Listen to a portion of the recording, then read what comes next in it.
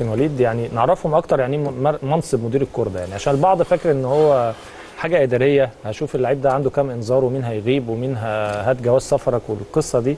الموضوع تطور وكابتن وليد بقى كمان وحضرتك يمكن يعرفنا أكتر بالجزء آه أنا أنا يعني أنا بي أنا زعلت بصراحة. كان في في في الراديو حد بيتناقش بدون ذكر أسماء يعني حد بيتناقش آه للأسف كان بيهمش جدا جدا منصب مدير الكورة وبيقول بالعكس ده يعني ملوش لازمة وبالعكس. الناس يا جماعة سبحان الله الناس في العالم كله بتزود الجهاز الفني. جوارديولا عنده بتاع حوالي 40 مساعد. بره في مسميات مختلفة. ممكن يبقى مدير كرة ممكن يبقى آه، آه، مدير إداري ممكن يبقى مدير رياضي ممكن يبقى كل اسم أو كل position ليه job description بتاعه ليه ال- الخصائص اللي هو بيعملها. الناحية الإدارية غاية في الأهمية. أنت المدير الفني زمان زمان زمان واتلغى الكلام ده المدرب يبقى بنا ومقاول ومناول وكل حاجة في الدنيا اللي هو إيه؟ الوان مان شو اللي هو بيحمل كل حاجة في الدنيا. أنت اتنين لعيبة اتخانقوا ابقى خد آه، أنا اللي هخصم وأنا اللي همشي وأنا اللي هقعد وأنا اللي هحل المشاكل وأنا هحجز الأوتيل وأنا هحجز الملعب وأنا هح... إيه؟ أنت ليه ليه المدير الفني؟ الكلام ده طبعا مش موجود في العالم كله. دلوقتي بقت المسميات مختلفة ممكن يبقى مدير إضاء آه رياضي المدير الرياضي هو رئيس جهاز الكورة بيقيم عمل الجهاز الفني بالكامل وهو آه، تبع مجلس الإدارة وهو بيحط استراتيجية النادي. أنا نادي عايز ألعب إزاي؟ الهوية بتاعتي بيبقى شكلها إيه؟ ال- الشخصية بتاعت الفريق عايزه يبقى عامل إزاي؟ عايزه لعيبة صغيرة في السن تلعب كورة عاملة إزاي؟ هتلعب كورة آه، معينة؟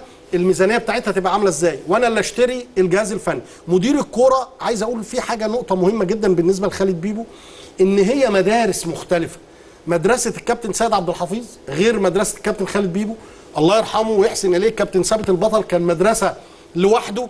جه بعديه الكابتن محمد رمضان مدرسة مختلفة تماما تماما. مدرسة الكابتن طارق سليم الله يرحمه مدرسة مختلفة تماما. كل واحد مدرسة الكابتن علاء عبد الصادق قصة مختلفة تماما. يعني الفكرة كل واحد بيدير بشخصيته.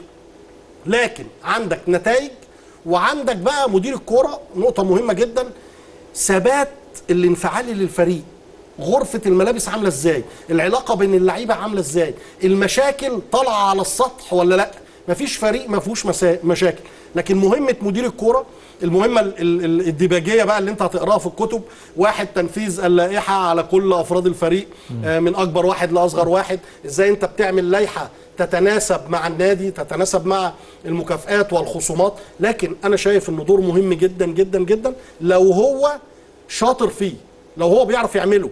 لكن ما تجيش يا أستاذ حسن تتكلم على واحد تقول لي إيه أصل هو بيتدخل في عمل المدير الفني.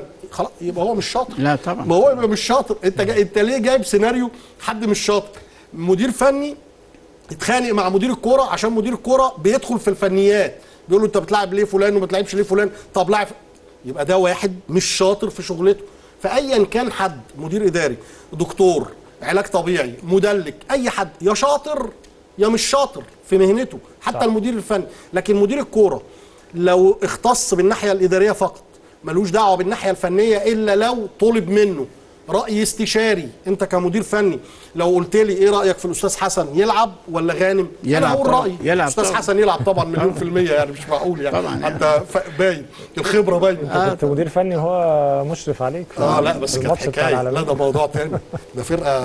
أول قرار إحنا خدته خسرنا لهم كام؟ خصمنا لهم 50000 50000 كل واحد